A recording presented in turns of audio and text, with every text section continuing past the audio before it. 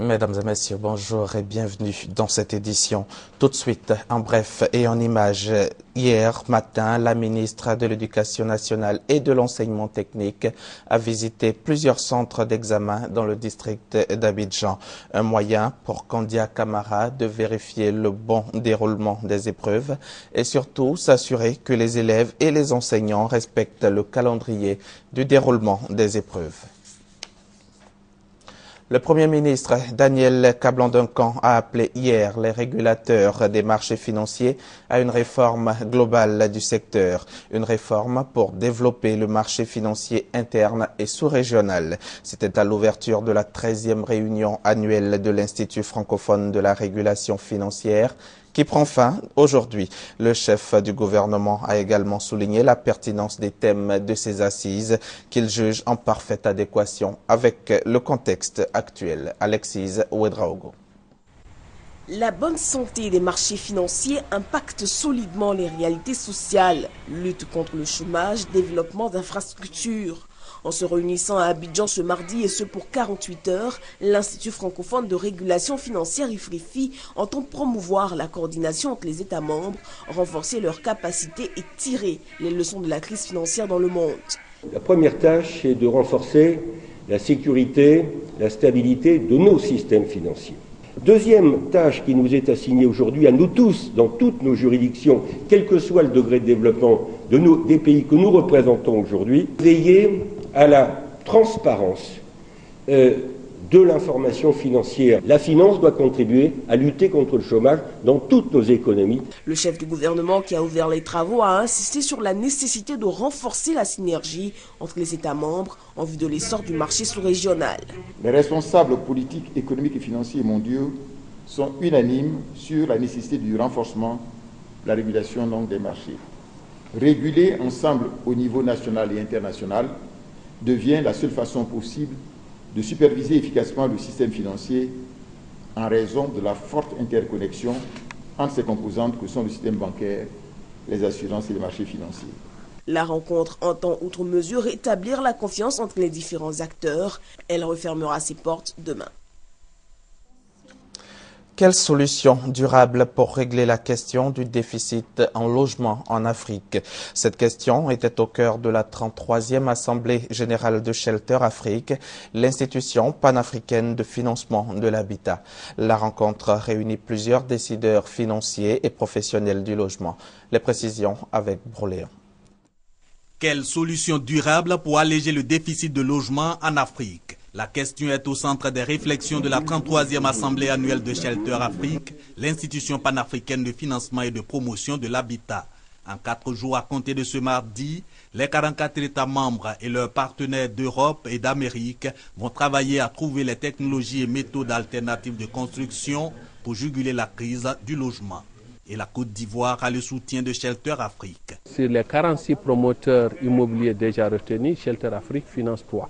Et nous allons effectivement déployer encore plus de ressources au profit de la Côte d'Ivoire. Il me semble important d'avoir un rythme à peu près de 10 milliards par an sur la Côte d'Ivoire parce que le pays a suffisamment de capacités et de ressources pour pouvoir absorber un tel montant. Cette promesse d'appui résulte du succès inspiré par la politique nationale du logement impulsée par le président Alassane Ouattara. Une politique dont les acquis ont été soulignés par le Premier ministre Daniel Kablan-Duncan et le ministre en charge de la construction Mamadou Sanogo.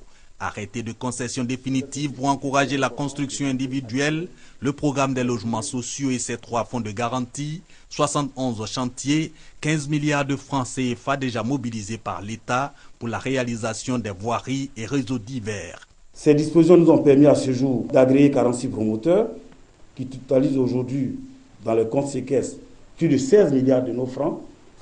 Les réformes entreprises visent, entre autres, à sécuriser et simplifier les procédures de délivrance des actes administratifs liés au foncier urbain et à faciliter l'acquisition de la pleine propriété. Ainsi, la mise en œuvre du nouveau code foncier qui sécurise l'accès à la propriété foncière tant en milieu urbain qu'en milieu rural va contribuer au développement du marché hypothécaire. Ces performances sont en partie à l'origine du choix de la Côte d'Ivoire, deux ans après son adhésion à Shelter Afrique, pour abriter cette 33e assemblée annuelle de l'institution. L'expérience ivoirienne du logement sera donc partagée. Hier, dans l'après-midi, cinq personnalités proches de l'ancien régime sont rentrées en possession de leur résidence. La restitution de ces maisons a donné lieu à une cérémonie organisée par le gouvernement, cérémonie qui a eu lieu à la résidence de Marcel Gossiot, l'ancien directeur général du port autonome d'Abidjan. C'était en présence de Paul Kofi Kofi, le ministre en charge de la Défense, et Aboussa Nogo y était également pour le compte de RTI 1. Son reportage. L'ancien directeur général du port autonome d'Abidjan, Marcel Gossiou, le colonel à la retraite Tano Atta, le ministre Amara Touré, représenté par son fils, Aka Eti, représentant Dania Bonik Lavri, et Dame Touré, Neba Estelle, retrouvent leur résidence après trois ans. Ils reçoivent ici des mains du ministre chargé de la Défense, Paul Kofi Kofi, les clés de leur domicile. La restitution a eu lieu au domicile de Marcel Gossiou. Je viens de recevoir les clés, c'est une joie. Je suis content de recevoir les clés. Vraiment, je suis très content d'avoir reçu les clés de cette maison après trois ans. Ce n'était pas évident.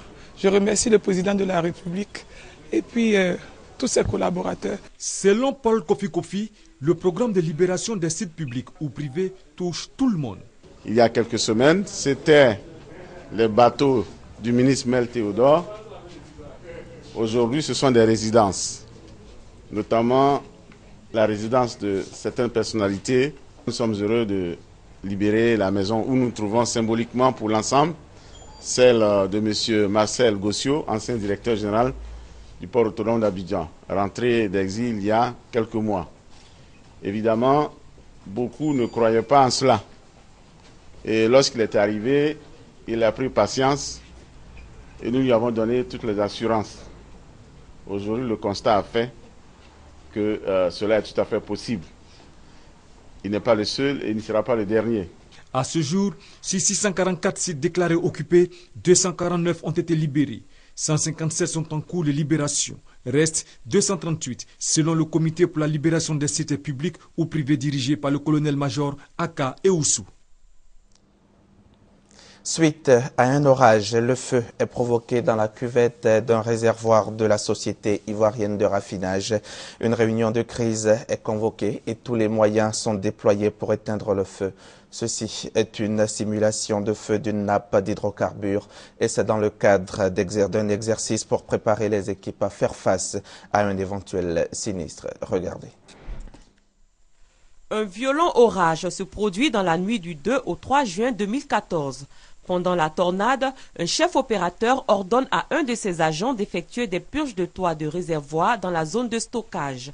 Au cours de l'opération, l'agent laisse ouvert par inadvertance le dispositif de purge d'un des réservoirs de pétrole brut. Le tuyau d'évacuation de ce réservoir étant percé, du pétrole brut s'écoule et se déverse dans la cuvette A602, provoquant ainsi un incendie. Une réunion de crise est alors convoquée. Une cellule dirigée par le directeur des opérations internes Simplice Brou se rend sur le site.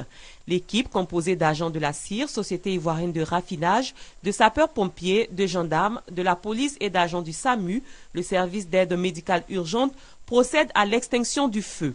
Elle envoie un mélange d'eau et d'émulseur pour noyer le produit. Après une heure de temps, le feu est circonscrit à la satisfaction de la direction générale venue sur le terrain pour constater le résultat. C'est un reportage signé Maïsako. À présent, direction Madagascar pour parler environnement. Dans ce pays, plusieurs éléments sont menacés de disparition. Ils font la fierté de Madagascar. Les lémuriens peuplent la grande île depuis 7 à 10 millions d'années. Les 105 espèces recensées ici ne se trouvent nulle part ailleurs dans le monde.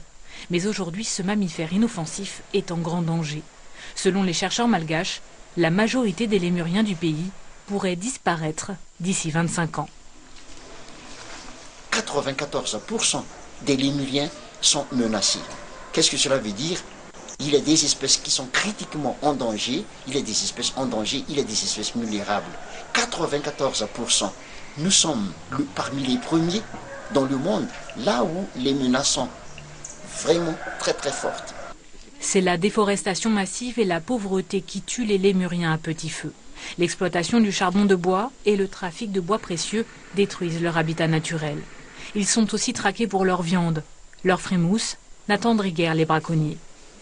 150 aires protégées ont été construites durant la dernière décennie, un effort encore insuffisant.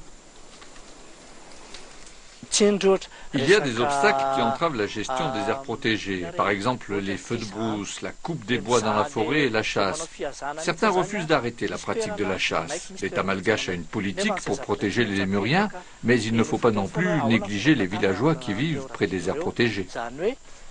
La solution la plus simple, c'est encore l'élevage en captivité. Comme ici, au parc zoologique de Timbazaza, au cœur de la capitale malgache. Des grandes cages accueillent plus de 150 lémuriens. L'argent du zoo suffit à peine à les nourrir. Difficile de trouver des fonds après trois ans de crise. Sauvegarder les lémuriens est pourtant vital, insistent les chercheurs. C'est un patrimoine national précieux à transmettre aux futures générations et aussi un très fort atout touristique. Je vous propose maintenant une tour éclair dans le monde. C'est l'actualité planétaire. C'est en bref et en images. Barack Obama en Pologne avec dans ses bagages un plan de sécurité d'un milliard de dollars pour rassurer ses alliés d'Europe de l'Est. Cette initiative prévoit le déploiement de nouvelles forces américaines dans cette partie du continent européen. Elle servira aussi à développer la coopération de pays non membres de l'OTAN comme l'Ukraine, la Géorgie et la Moldavie avec les États-Unis et leurs alliés occidentaux à renforcer leur propre défense. La visite du président américain intervient alors que la communauté internationale s'inquiète de l'attitude de Moscou en Ukraine, où l'armée a intensifié son offensive contre les séparatistes pro-russes. Du jamais vu depuis 50 ans en Iran, en quelques minutes lundi, une tempête de sable a plongé Téhéran dans l'obscurité, la température dégringolant de 33 à 18 degrés. Au moins 5 personnes ont été tuées par des chutes d'arbres arrachées par la violence du vent et une trentaine d'autres blessées. De nombreux bâtiments ont été endommagés et le réseau électrique perturbé. Une nouvelle tempête de sable devait frapper la capitale dans la journée. Les autorités japonaises ont donné lundi leur feu vert pour construire un mur de glace autour de la centrale nucléaire de Fukushima accidentée en 2011. Des canalisations remplies de liquides réfrigérants vont être installées sur un périmètre d'un kilomètre et demi. Il s'agit de ralentir l'accumulation d'eau radioactive dans le sous-sol et d'éviter la contamination des eaux saines provenant des collines alentours. Actuellement, de l'eau non polluée circule en permanence sous la centrale, se mêlant à l'eau utilisée pour refroidir les réacteurs et qui, elle, est contaminée. Voilà, c'est la fin de ce journal. Merci de l'avoir suivi. Très bonne journée sur RDI 1.